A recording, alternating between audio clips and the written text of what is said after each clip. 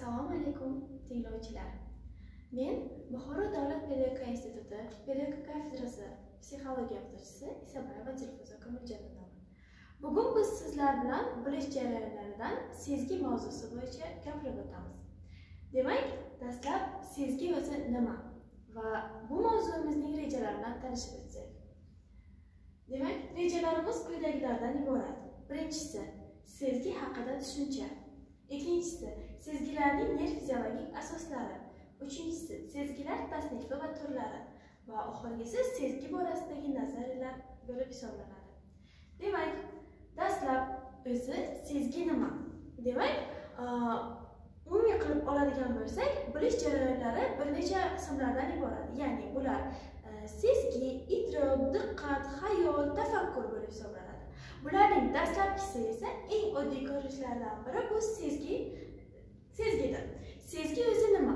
Sezgi bu atrofimizdagi narsa va hodisalarning sezgi a'zolarimizga bevosita ta'sir etishi natijasida ularning ayrim belgi va xususiyatlarini ongimizda ya'ni miyamizda aks ettirilishidir masalan bizning ko'zlarimiz turli qabul qilishi quloqlarimiz turli tovushlarni eshitishi yoki turli ta'm hidlarni qabul qilishimizning o'zi bu sezgilarimizni aks ettiradi. Ya'ni bularning barchasi miyamizda ya'ni ongimizda aks ettiriladi. Demak sezgilarning e, qanday hosil bo'lishini batafsil yoritib o'tamiz demak barcha bilish jarayonlarining o'zining nerv fiziologik asoslari mavjuddir. Xuddi shu singari e, sezgilarning ham nerv fiziologik asoslari bor. Bularning ko'pchiligini aynan pavlov nerv fiziologik asoslarini o'rganib o'tgan bo'ladi. E, sezgilar ham bundan mustasno emas. Ya'niki pavlov sezgilarning nerv fiziologik asoslarini o'rganib o'tgan. Bunda nima deydi? Pavlovning fikricha e, sezgilarning nerv fiziologik asosi analizatorlardan iboratdir. Analizatorning o'zi nima? Analizator bu tashqi va ichki muhitdan keladigan taassurotlarni qabul qilib fiziologik jarayon bo'lgan qo'zg'alishlarni psixik jarayonga ya'ni sezgilarga aylantiruvchi nerv mexanizmlar tizimi bo'lib hisoblanar ekan. Demak analizator tashkil etar ekan analizatorning o'zi qanday qismlardan tashkil topgan? Analizator uch qismdan iborat.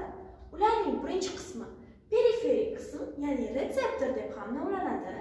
Bu tashqi quvvatni nerv jarayonlariga o'tkazadigan maxsus transformator ya'ni o'tkazuvchi qism bo'lib hisoblanadi. Ikkinchisi bu analizatorning periferik bo'limlarining markaziy analizator bilan bog'langan yo'llariga olib boruvchi aferent va eferent yo'llardan iborat. Aferent bu markazga intiluvchi nerv bo'lsa efferent markazdan qochuvchi ya'ni e, yetkazilgan axborotni olib boradi aferin olib keladi efferent nervlar hisoblanadi. Demak keyingi qismi bu nervlardan keladigan signallar qobiq osti va qobiq bo'limlariga yetib boradi. Mana rasmdan ham ma'lumki ana bu qismida e, retseptor qismi bu yerida e, nervlar va oxirida qobiq osti va qobiq qismlari e, joylashgan bo'ladi. Demak ana shu retseptorlarning qayerda joylashishiga ko'ra sherington degan olim sezgilarni uch guruhga bo'lgan.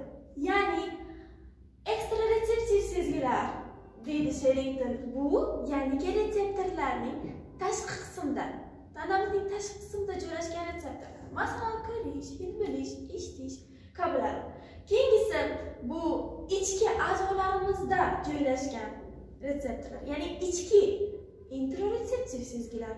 Va keyingisi tanamizning gavda va holatimizni ta'minlaydigan muskul pay bo'g'imlarida joylashgan retseptorlar bu proproretseptiv sezgilarni tashkil etadi. Har to'xtalib o'tadigan bo'lsak ekstraretseptiv sezgilar bu yuqorida aytganimizdek tashqi muhitdagi narsa va hodisalarning xususiyatlarini aks ettirishga moslashgan tanamizning sirtida joylashgan retseptorlardan iborat. Yuqorida aytganimizdek ko'rish eshitish hid bilish ta'm bilish kabilar bular ekstraretseptiv sezgilar. Ekstraretseptiv sezgilar uzoqdan va his qilish orqali bilish bilan ikkiga bo'linadi ya'ni uzoqdan ularni ko'rish hid bilish tan bilish bo'lsa hid his qilish orqali bular tan taktil harorat bo'lib hisoblanar ekan. Demak introretseptiv sezgilarga o'tadigan bo'lsak interoreseptiv sezgilar ichki a'zolarimiz haqida ma'lumot berib turadi. Ya'ni tanamizning ichki qismidagi joylashgan ichki organlarimiz masalan och qolishimiz och qolganimizning o'zini bildirib turuvchi retseptorlar bu introretseptiv e, retseptorlarning analizatorlarining vazifasi bo'lib hisoblanadi. Psixologlardan biri ya'ni luriyaning fikricha emotsiyalar bilan sezgilar o'rtasidagi oraliq sezgilar sifatida namoyon bo'ladi deydi introretseptiv sezgilar haqida. Demak proproretseptiv sezgilar ham mavjud ya'ni ular gavdamizning fazodagi holati to'g'risida bizga ma'lumotlar berib turuvchi Э, sezgilar bo'lib hisoblanadi. Ular gavdamizni to'g'ri saqlash e, motor harakat vazifalarini bajarishni ta'minlab turadi. Demak umumiy olib qarasak sezgilarning quyidagicha turlari mavjud. Ya'ni ko'rish sezgilari eshitish sezgilari hid bilish sezgilari ta'm bilish sezgilari teri sezgilari harakatni ta'minlovchi sezgilar statik sezgilar va organik sezgilardan iboratdir. Demak ko'rish sezgilari haqida aytib ma'lumotlarga qaraganda insonlarga ko'pgina ma'lumotlarni beruvchi sezgilardan biri bu ko'rish sezgisidir. Ya'ni inson ko'rgan ko'rgandan keyin aniq yaxshi eslab olish qobiliyatiga ega bo'ladi. Demak ranglarni e, ajratish bo'yicha ranglar quyidagi turlarga bo'linadi. Xromatik va axromatik ranglarga bo'linadi. Xromatik ranglar bu e, rang va rang ranglardan hisoblanadi. Ya'ni binafsha ko'k zarg'aldoq qizil ranglar Э, axromatik ranglar bo'lib biz ularni ilg'ay olishimiz aynan tayoqchasi э, tayoqchasimon э, nimalardan iborat bo'ladi? Axromatik ranglar esa bu oq qora ranglardan iborat bo'ladi. Bularni kolbachasimon hujayralar yordamida aniqlanadi. Demak eshitish sezgilari eshitish sezgilari ham sezgilarning asos turlaridan bo'lib hisoblanadi. Eshitish sezgisi bu bizning e, quloqlarimiz orqali amalga oshiriladi. Sezgilar e, quloqlarimiz orqali amalga oshiriladi qulog'imiz tashqi ichki va o'rta quloqdan iboratdir. Tashqi qulog'imiz quloq suprasi ichki qulog'imiz e, o'rta qulog'imiz va ichki quloqdan iborat. Ichki qulog'imizda endolimfa mavjud va Э, tashqi quloqimiz quloq suprasi va tovushlarni yig'ishni bajarsa tovushlar yig'ilib o'rta quloqqa va shundan keyin ichki quloqqa o'tib biz tovushlarni eshita olish qobiliyatiga ega bo'lamiz. Bundan tashqari bizda hid bilish sezgilari mavjud. Hid bilish sezgilari bu e, burnimiz orqali amalga oshiriladi. Ya'ni burun qovaklarida bizda e, hid bilish hujayralari joylashgan. Aynan ularda retseptorlar mavjud.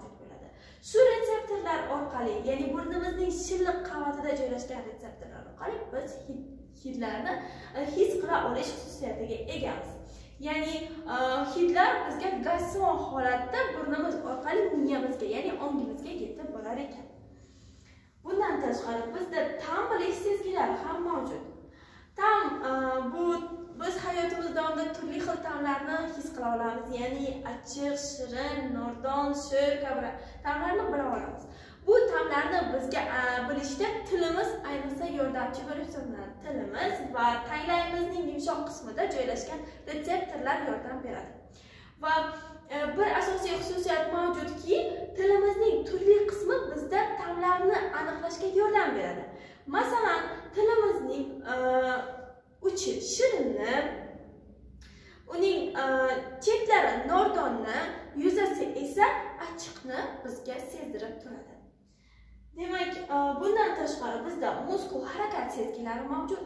Muskul harakat sezgilari bizning tanamizning harakatlarini ta'minlaydigan sezgilar bo'lib hisoblanadi. Ya'ni bizning pay big'im tog'aylarimizda joylashgan analizatorlardan iboratdir. Bular e, tanamizning dinamik va statik harakatlarini bajarishni e, asosiy vazifasini bajaradi. Ya'ni statik harakatlar. Fazoda gavdamizning ma'lum bir muvozanatda bo'lishini ta'minlasa dinamik e, harakatlar esa sezgilar esa bizning doimiy harakatda bo'lishimizni masalan yugurish yurish kabi vazifalarni bajarishni ta'minlaydi. Demak organik sezgilarga esa quyidagilar kiradi ya'ni og'riq sezgilari chanqoq sezgilari noxush tuyg'ular ochlikni sezish. Ya'ni bundan ko'rinib turibdiki organik sezgilar bizni qayerdirimiz og'risa yoki och qolsak yoki chanqasak yoki qayerdirimizda noxush holat ro'y bersa bu bizni ichki organlarimiz orqali bizning ongimizga anal e, informatsiya boradi va shu informatsiyalar orqali bizga sezgilar bilan bildiriladi. Ya'ni qayerdimizdadir og'riq bor yoki bizning qornimiz och qolganini bizga tezlik bilan yetkazib beradi. Demak sezgi borasidagi qo'llaniladigan atamalarga to'xtalib o'tsak bular quyidagilardan iboratdir dastlab birinchi e, atama bu bizda adaptatsiyadir. Adaptatsiya nima? Adaptatsiya bu moslashuv degan ma'noni bildiradi. Ya'ni sezgi organlari sezgirligining qo'zg'atuvchi ta'siri ostida o'zgarishi demakdir ya'ni adaptatsiya ikki xilga bo'linadi. Negativ adaptatsiya va pozitiv adaptatsiya. Masalan misol qiladigan bo'lsak adaptatsiya moslashish dedik. Qanday moslashish hosil bo'ladi?